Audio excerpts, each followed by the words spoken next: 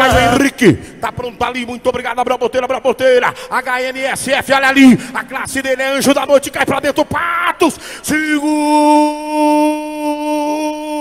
Pião. Tava tudo.